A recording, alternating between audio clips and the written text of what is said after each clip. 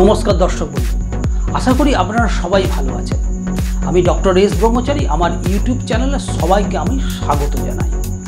আজকের আলোচ্য বিষয়টি হলো, অশ্ব বা পাইলস কী করে প্রতিরোধ করা যেতে পারে? ভিডিওটি আপনারা প্রথম থেকে শেষ পর্যন্ত সম্পূর্ণ দেখুন। আর ভিডিওটি যদি ভালো লাগে, অবশ্যই লাইক করুন। আর আপনাদের বন্ধু বান্ধব আত্মীয় স্বজন মধ্যে ভিডিওটা শেয়ার করুন। আর আপনি যদি আমার চ্যানেলে নতুন দর্শক বন্ধু হন অবশ্যই চ্যানেলটি একবার সাবস্ক্রাইব করে পাশের বেল আইকনটি একবার ক্লিক করে অল নোটিফিকেশানটি ক্লিক করুন। তাহলে শুরু করি আজকের নতুন ভিডিও। অশ্ব প্রতিরোধ করার জন্য তিনটে বিষয় আমাদের মাথায় রাখতে হবে। প্রথম বিষয়টি হলো পায়খানা নরম বা সফট রাখতে হবে। দ্বিতীয় বিষয়টি হলো মলদ্বারে যে পোর্টাল ভেন্টি সাপ্লাই হয়েছে, সেই ভেন্টি যেন কোনো রকমভাবে হাইপার না হয়। তৃতীয় বিষয়টি হলো, মলদ্বারের ভেনগুলোতে যেন কোনো রকমভাবে প্রেশার বা চাপ না পড়ে। প্রথম বিষয়টির ওপর আমি আলোকপাত পায়খানা যথেষ্টভাবে সব রাখতে হবে। পায়খানা সব রাখার জন্য আপনার খাদ্য তালিকায় ফাইবার জাতীয় খাদ্য খাবার আপনি অন্তর্ভুক্ত করুন। যেমন ফলমূল, সবুজ শাকসবজি ইত্যাদি। ফলমূলের মধ্যে পাকা কলা, আপেল ন্যাসপাতি, বিভিন্ন ধরনের ডাল, সবুজ শাকসবজি, যেমন কলমি শাক ভ্যারাইটিস রকমের শাক, ঢেঁড়স, পুঁই শাক, এসব বিভিন্ন রকম খাদ্য খাবার আপনারা বেশি গ্রহণ করুন। যাদের কনস্টিপেশনের ধাত আছে, তারা কখনই রেড মিট বা হার্ড মিট খাবে তারা সবসময় লাইট প্রোটিন গ্রহণ করার চেষ্টা করবে যদি কোনো কারণে কনস্টিপেশন হয়ে গেল তাহলে আপনারা ইমার্জেন্সি ওষুধ খেয়ে পায়খানা নরম করার চেষ্টা করুন। জল বেশি খাওয়ার চেষ্টা করুন, যাতে পায়খানাটি সফট থাকে। পায়খানা সফট রাখলে অশ্বর টেন্ডেন্সি অনেক অংশে কমে যায়। দ্বিতীয় বিষয়ের উপর আলোকপাত করুন।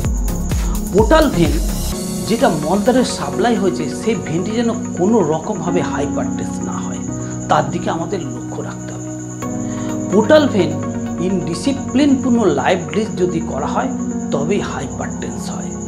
সঠিক সময় খেতে হবে, সঠিক সময় ঘুমাতে হবে, সঠিক পরিমাণে জল খেতে হবে, এইভাবে শৃঙ্খলাপূর্ণ জীবনযাপন করলে পোর্টাল ভেনটি হাইপারটেন্স না হয়। পোর্টাল ভেনটি হাইপারটেন্স হলে পায়খানার দাঁত দিয়ে ব্লাড লিক করে রক্ত বেরোনোর সম্ভাবনা থেকে যায়।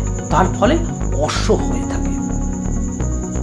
অতিরিক্ত পরিমাণ তৈলাক্তযুক্ত খাবার মশলাযুক্ত খাবার, অতিরিক্ত পরিমাণ মাংস রেড মিট খাওয়া, অতিরিক্ত পরিমাণ নেশা করা স্পেশালি অ্যালকোহলিক ড্রিঙ্ক অতিরিক্ত পরিমাণ তামাক খাওয়া, এগুলো অবশ্যই বন্ধ করতে হবে।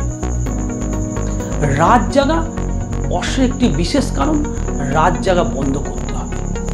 আরেকটি বিষয় অবশ্যই খেয়াল রাখতে হবে, যেটি হলো আপনারা কখনই ব্রেকফাস্ট স্কিপ করবেন ব্রেকফাস্ট যদি অফ করে থাকেন অশ্ব হওয়ার সম্ভাবনা অনেক অংশে বেড়ে যায়। তৃতীয় বিষয়টির উপর আলোকপাত। করুন মলদারের ভেনগুলোর উপরে যাতে প্রেশার বা চাপ না পড়ে, তার দিকে লক্ষ্য রাখতে হবে। পায়খানা করার সময় বেশি পরিমাণ কোদ দিলে বা বেশি পরিমাণ প্রেশার দিলে এই ভেনগুলোর উপরে প্রেশার পড়তে পারে। দীর্ঘদিনভাবে এই অভ্যাস করলে অশ্ব তৈরি হওয়ার সম্ভাবনা অনেক অংশে বেড়ে অতিরিক্ত ভারী জিনিসপত্র ওঠানো নামানো বন্ধ করতে হবে। এতে মলদ্বারের ভেনগুলোতেও অনেক অংশে চাপ বেশি পড়ে।